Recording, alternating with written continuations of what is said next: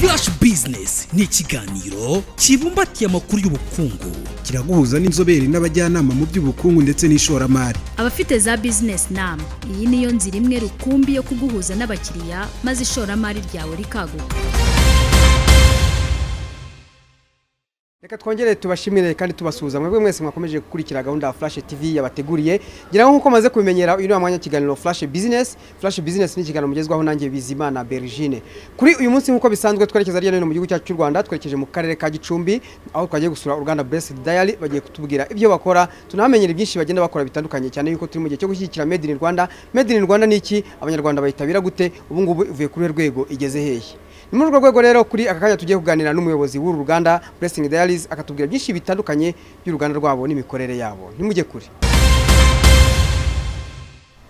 Murakoze nitwa ngirente milton ni nge umuyobozi mukuru wa blessed diaries limited. Uru ruganda ni urwanjye narushinze mu gihumbi kimwe magana cyenda narushinze mu mwaka w'ibihumbi bibiri na cumi na kabiri. Nibwo rwatangiye gukora poroduwi ni bwo yageze ku isoko. Mu buzima busanzwe uru ruganda rero mukora ibiki mwagendeye ku cyari byo mutoranya gukora. Muri uru ruganda dutunganya amata n'ibiyakomokaho kuko ni ni ubucuruzi tumazemo igihe kinini kuko kuva muri mwaka w'ibihumbi bibiri na kane twagiye twinjiye mu bucuruzi bw'amata twinjira no mu bworozi bw'inka zitanga umukamo. Kuva icyo gihe rero hamwe n'amahugurwa atandukanye hamwe n'ingendoshuri zitandukanye twageze aho tugera ku rwego rwo kumva yuko twakora poroduwi amata tukayongerera agaciro ntidukomeze gucuruza amata gusa ahubwo tugacuruza amata n'ibiyakomokaho. Ni muri urwo rwego bibiri na cumi na rimwe twandikishije kampani blessed diaries limited muri rdb mu kwezi kwa munani mu kwezi kwa gatatu mu mwaka w'ibihumbi bibiri na cumi na kabiri poroduwi ya mbere ni bwo yagiye ku isoko. Dutangira dufite yawurute n'ikivuguto ariko ubu tuvugana dufite poroduwi zitandukanye harimo yawurute harimo ikivuguto harimo inshyushyu harimo kereme fureshi harimo beri ariyo bita bata harimo na foromaje yo mu bwoko bwa mozarera dufite poroduwi zigeze muri esheshatu cyangwa zirindwi gutyo. Murakoze. Byanga bikunda muza gushinga uruganda hari imbogamizi mwari mwabonye ziri mu baturage batuye aha ngaha ese zaba ari izihe cyangwa se ni iyihe mpamvu yatumye muza gushyira uruganda aha ngaha muri aka karere? Nk'uko nabikubwiye twatangiye muri bibiri na kane ducuruza amata twakusanyaga amata hano mu karere ka gicumbi tukajya kuyacuruza i kigali. Hari igihe twageraga i kigali rero rimwe na rimwe isoko rikaba ritoya amata ntitushobore kuyacuruza ni muri urwo rwego twavuze ngo reka dutekereze ese hari indi poroduwi dushobora gukora mu mata imara iminsi runaka aho kugira ngo amata isoko rikomeze ribe ritoya tube tuvuga ngo hari andi mata twongereye agaciro noneho tuyakuremo izo poroduwi zitandukanye. Twabitekereje rero ari mu rwego rwo gukemura ikibazo cy'umukamo isoko ryari rito icyo gihe kugira ngo turebe yuko twacuruza amata ariko tukagira na poroduwi zikomoka mu mata. Noneho ubu ngubu reka tuganire tugaruke mu rwanda rwacu turi mu bijyanye na made in rwanda leta y'u rwanda gushishikariza abanyarwanda bose gukunda cyangwa se kwitabira ibijyanye na made in rwanda. Kugeza akanya mu rwanda bimeze gute cyangwa bihagaze hehe ugereranyije n'uburyo mwebwe muri ku isoko? Nibyo koko made in rwanda ni gahunda nziza yo kugira ngo abanyarwanda cyangwa inganda zo mu rwanda zishobore guhangana ku isoko mpuzamahanga. Nk'uko ubizi amasoko agenda yaguka mu gihe gito afurika izaba isoko rimwe bityo igihe cyose made in rwanda twaba tudahari ngo dukore inganda zishobora gukora poroduwi zijya guhangana kuri ayo masoko n'ubundi ibindi bihugu ni byo bizungukira muri uko kwaguka kw'isoko kuko bazajya bazana ibicuruzwa byabo hano mu rwanda ariko twebwe tudashobora gutwara ibicuruzwa hanze. Made in rwanda rero turayumva turayishyigikiye kuko na yo ari kimwe mu bizatuma poroduwi y'u rwanda ishobora kumenyekana ikamenyekana mu rwanda ikamenyekana no hanze y'u rwanda.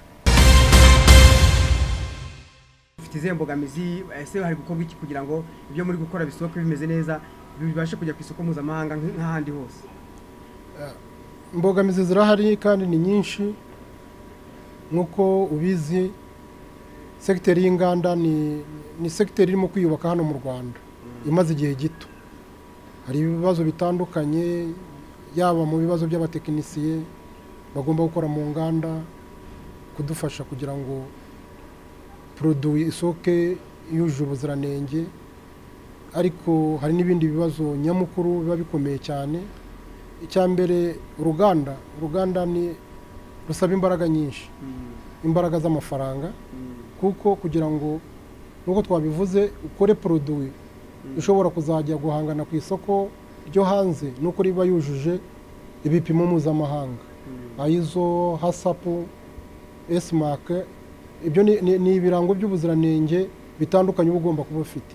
Kugira ngo ugere kuri ibyo birango bisaba imbaraga. Bisaba imbaraga mu rwego rw'amafaranga kuko ugomba kuba ufite ikipoma cyangwa se ibi- ibikorwa remezo infrastructure zi- zigufasha kugira ngo bigereho birashoboka ko ushobora kuba afite abakozi beza b'abahanga ariko niba udafite imashini iri bugufashe gukora ya poroduwi biranga. Uzasanga rero ziriya mashini dukoresha ziriya ekipoma dukoresha dukora poroduwi ari ari imashini zituruka hanze niba atari mu buraziya aba ari mu burayi cyangwa muri amerika. Muri afurika nta- nta- ntaho wapfa kubona imashini uri bukoreshe. Icyo gihe rero ziba zihenze ziba zisaba igishoro kinini. Rero ubijyamo iyo mashini niba uyiguze uba ugomba no kugira aho uzayitereka. Uba ugomba kubaka inyubako na yo yujuje ubuziranenge yujuje sitandari z'uruganda. Icyo gihe rero bigusaba igishoro kinini cyane.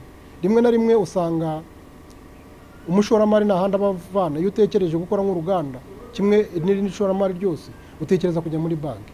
Banki zacu zitanga inguzanyo z'igihe gito.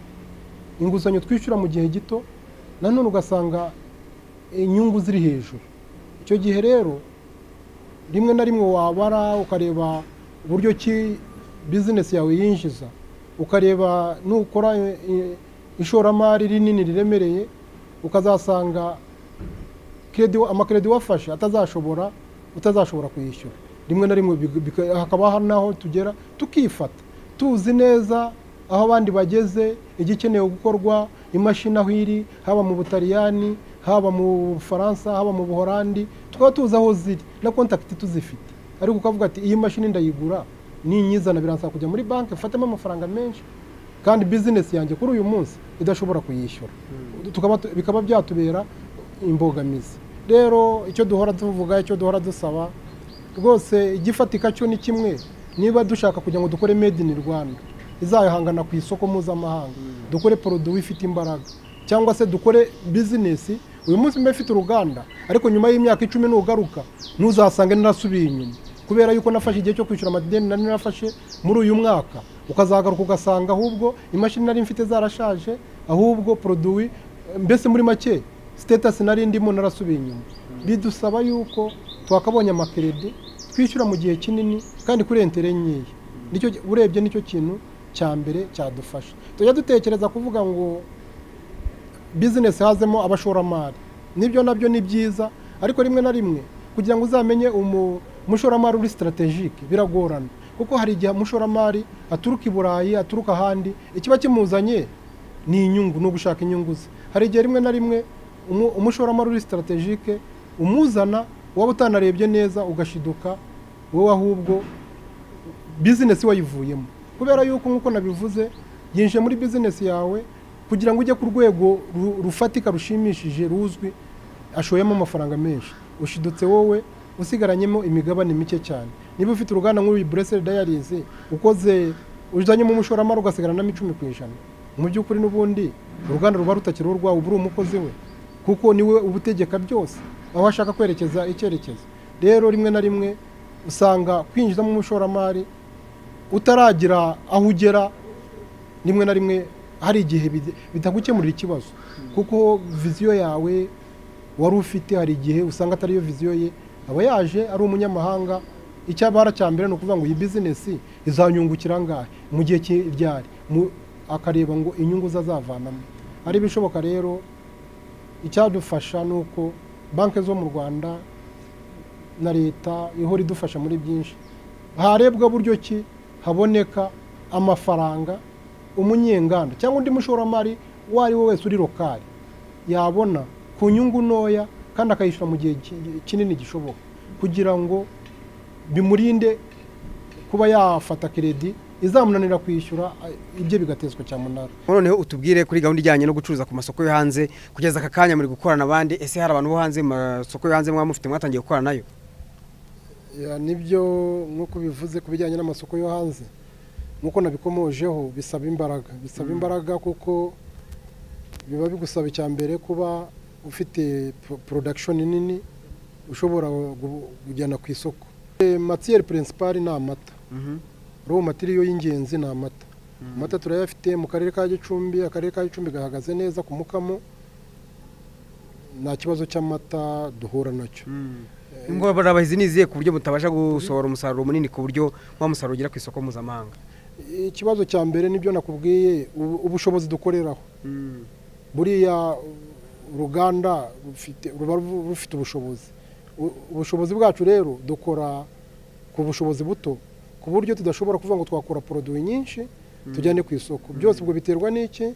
Imashini ziteka amata eh, imashini zikora fermentation eh, cyangwa incubation aho fermentation ikorerwa. Ima- imashini zipakinga ni ukuvuga ngo uruganda ni shene yose. Niyo mpamvu kuva kuri reception kugira ngo produit isohotse na, na storage amakoridoro n'iki byose biguha biguha urwego udashobora kurenga. Ngo ukore produit zirenze izo ngizo. U- ushatse gukora izirenze izo ngizo ubwo ni ukuvuga ngo nanone ireme ry'u- ry'ubuziranenge na standard nakubwiraga byakunanira. Yego. twebwe rero duhitamo kuvuga ngo aho kugira ngo ubuziranenge tujye nyuma y'ubuziranenge twakora ahubwo produit nkeya ariko produit yacu ikagumana ubuziranenge bwayo. Eh, ni na yo mpamvu nakubwiraga rero bidusaba kugira ngo tubanze twagure twongeremo andi mamashini haba mu guteka amata haba mu fermentation haba mu gupakinga shene yose tuyagure.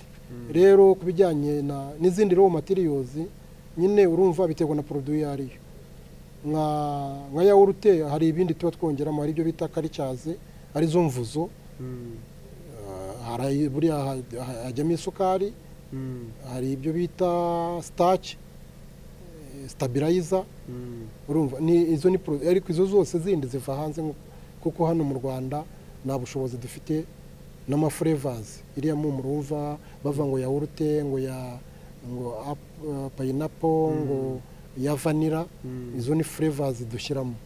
Ibyo byose biva hanze. Biva hanze. Iyo rero ni byo nabo byaba binahoze nkubwira iyo utakoze sisite uburyo bwiza bwo kugira ngo ukore sitoke hari igihe ushobora no gushiduka ibyo iyo izo matiyeri zivanze zagushiranye.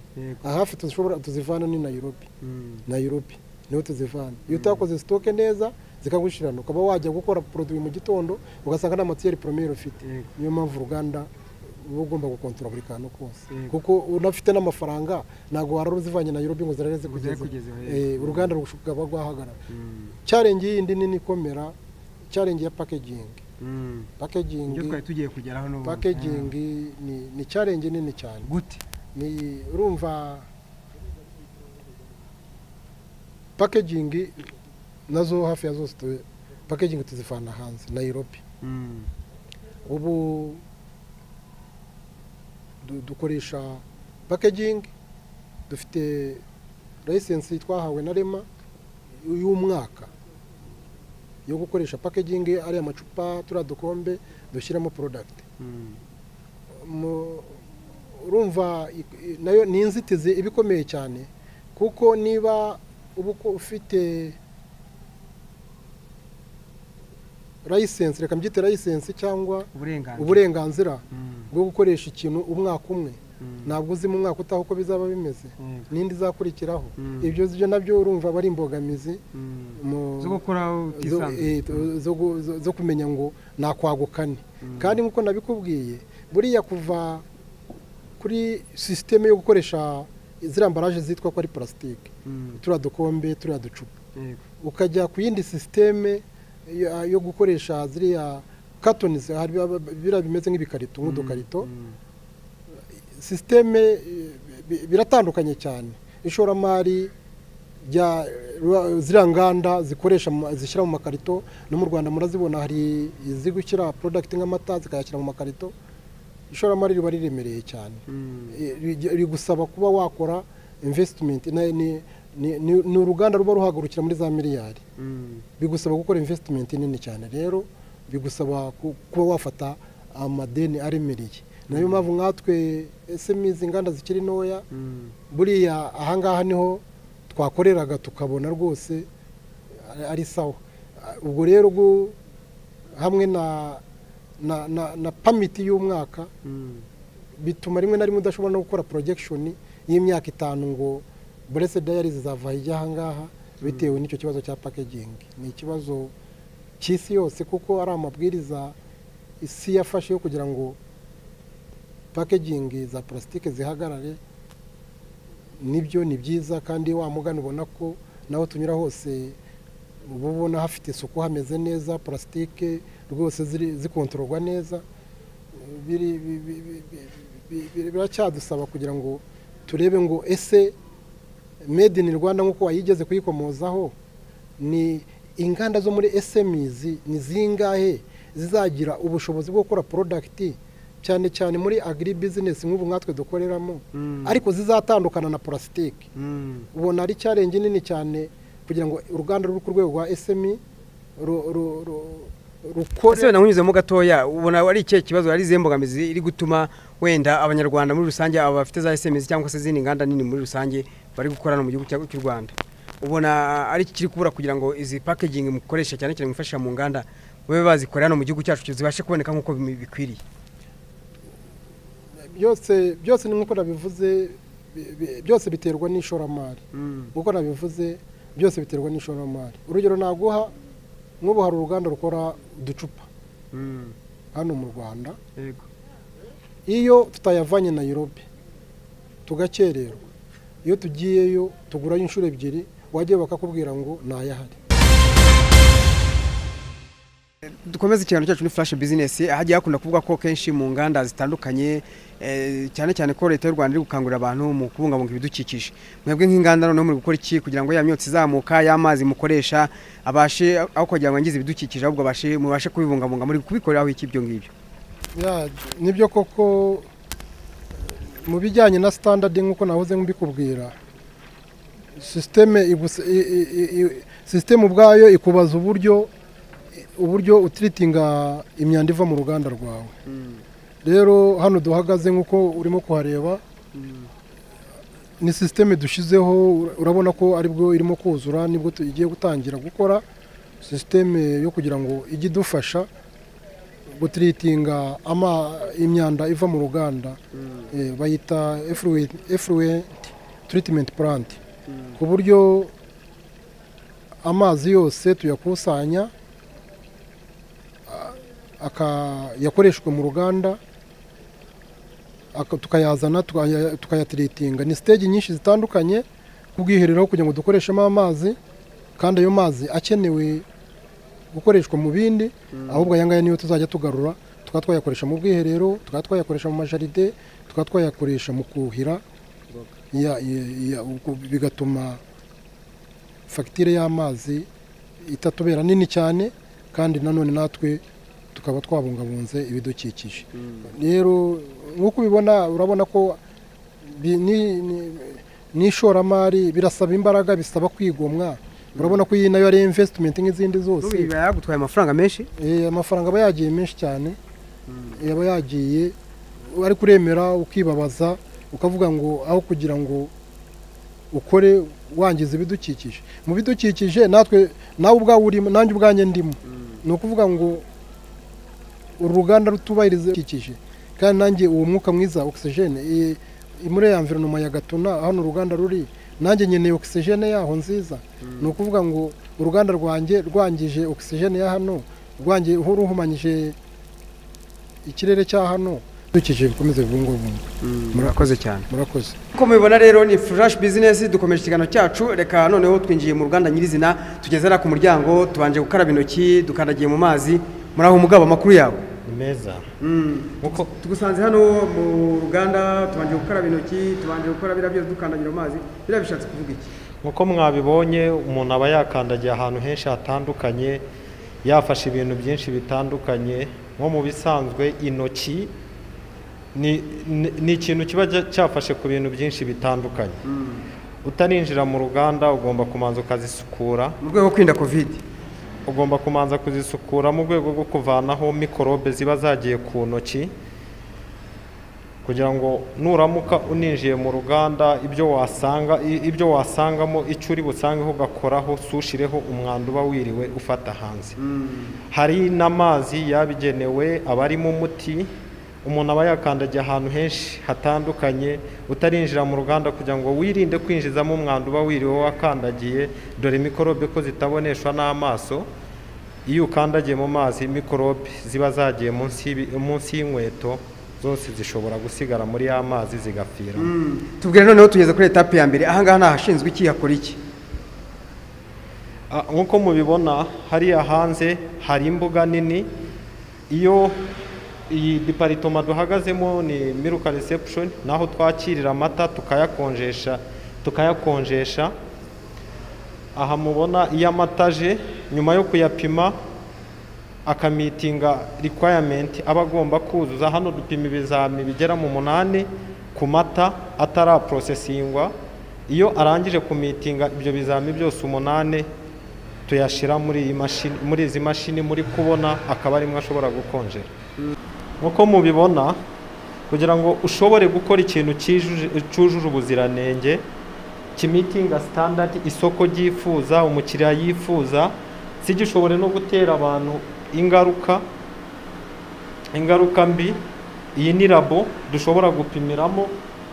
Nk'uko mubizi iyo wakiriye ikintu cyujuje ubuziranenge bigufasha no gukora ikintu cyujuje ubuziranenge ntabwo wavunika cyane. Iyo amata akigera hano dufataho samples twarangiza gufata sample tukazizana. Iyi ni labo. Iyi labo ikorerwamo ibintu bitandukanye.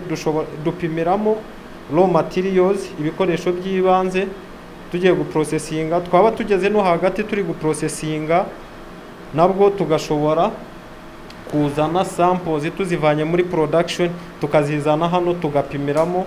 Tukareba niba zujuje ubuziranenge niba nta kibazo bya- byateza. Ah, aha ni muri production section aha ni ho dushobora gutekera amata.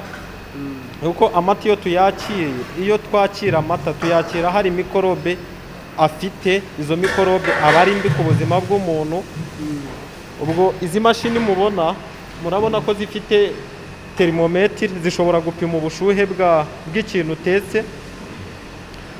Ubwo iyo dushizemo amata za mikorobe zirimo zishobora gutera uburwayi ku bantu izo zose tu- turazamura ubushuhe kugira ngo zishobore gupfa nizirangiza gupfa twizere ko ayo mata nituyakoramo yawurute foromaje cyangwa se amavuta y'inka na yo turayakora hano ko nta kibazo yagira ku muntu wa- yakoresheje. Ah, izi mashini mubona izi ni iziteka iriya mubona ni bata cyana tuyikoresha turi gucunda turi gukora amavuta y'inka. Nitwa Nshizirunga Ruberi nkaba ndi umukozi ushinzwe ubuziranenge muri Blessed Diaries Limited.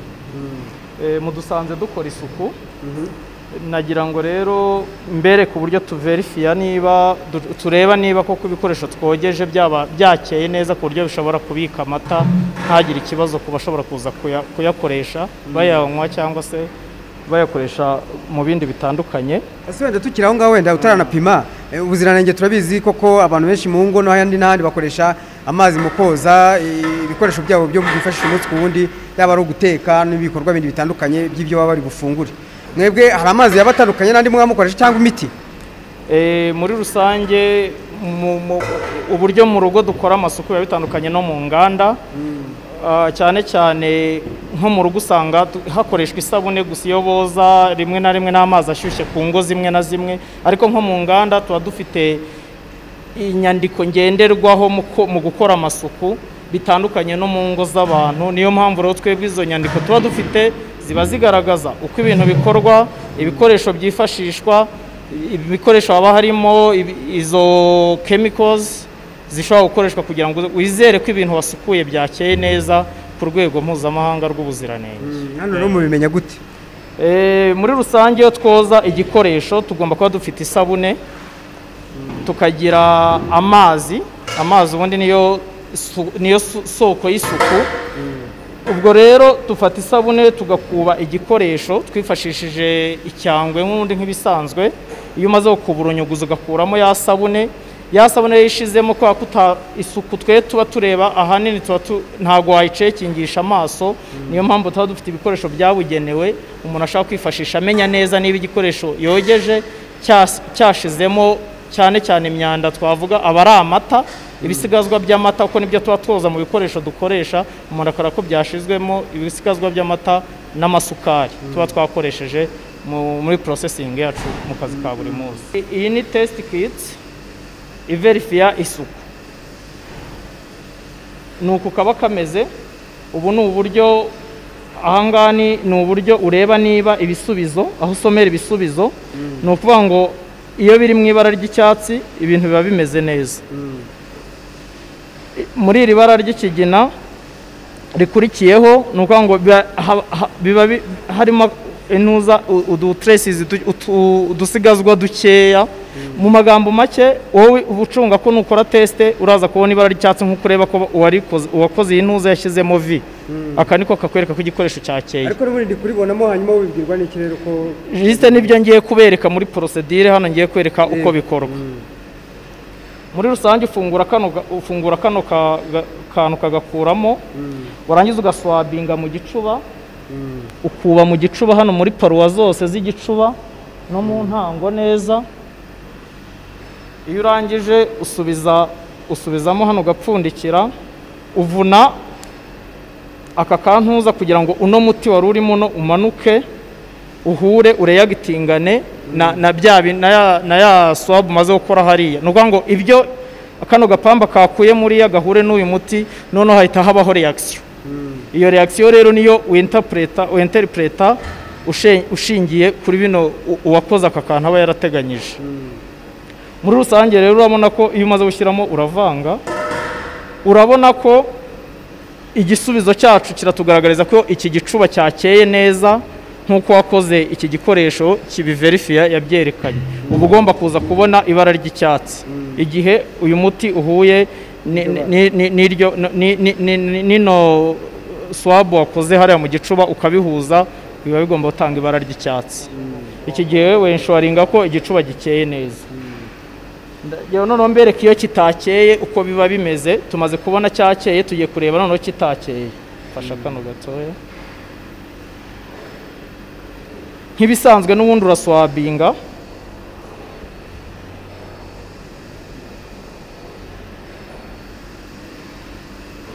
ugasubizamo n'ubundi urongera uvune uyu muti ukavune kugira ngo uyu muti umanukemo hariya hasi.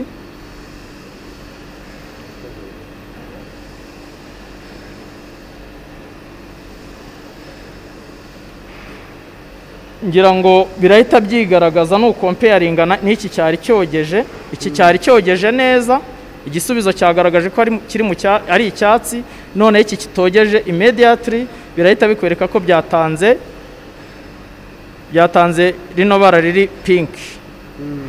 Bigaragaza ko iki, gikoresho tumaze kuverifiya ntabwo cyogeje neza. Harimo ibisigarizwa by'amata n'amasukari. Reka tubashimira mwe mwese mwabanye natwe muri iki kiganiro cya Flash Business. Mwari kumwe nange Bizimana Berigine tubararikire kiganiro cyacu cy'ubutaha nakagaruka ibyo uyu muyobozi w'iyi Blessed Dial yatugejejeho bya byinshi bitandukanye. Tubwiye ko Made in Rwanda ikunzwe kandi bari gukomeza gushyiramo imbaraga kugira ngo bakomeze kugira impinduka mu iterambere ry'igihugu cyacu cy'u Rwanda. Mukomeze muryoherwe na gahunda Flash TV yabateguriye. Bye bye mugire ibihe byiza Flash Business ni ikiganiro kibumbatiye amakuru y'ubukungu. Kiraguhuza n'inzobere n'abajyanama mu by'ubukungu ndetse n'ishoramari. Abafite za bizinesi nama iyi niyo nzira imwe rukumbi yo kuguhuza n'abakiriya maze ishoramari ryawe rikaguka.